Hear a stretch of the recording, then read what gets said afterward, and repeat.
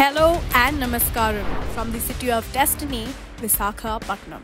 Team DPR is reporting to you live from the coast of Andhra Pradesh, where India's flagship event and so far the largest naval war game, Milan, is taking place.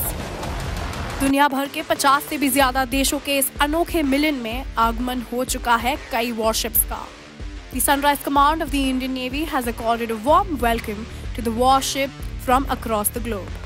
Today is the day 2 of the 12th edition of this multilateral naval exercise. Taking place in two parts, the harbour phase and the sea phase, 19 फरवरी को शुरू हुई मिलन exercise 27 फरवरी तक चलने वाली है मिलन a Sanskrit word meaning gathering, aptly encapsulates the essence of this naval exercise, which serves as a platform for friendly foreign countries from across the globe to converge and collaborate.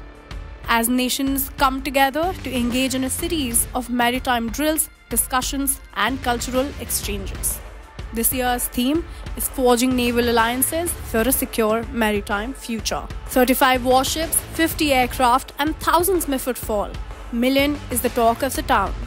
We are right now at the phase 1 of the event, from where we will bring to you live updates of the events slated to take shape. The celebrations will kick off tomorrow on February 21st at the Naval Auditorium Samudrika with Raksha Mantri Sri Rajnath Singh's arrival and the inauguration of Milan Village and Maritime Tech Exhibition at the Naval Base. With the grand celebration, India is telling the world, Ab hai tayyar hum.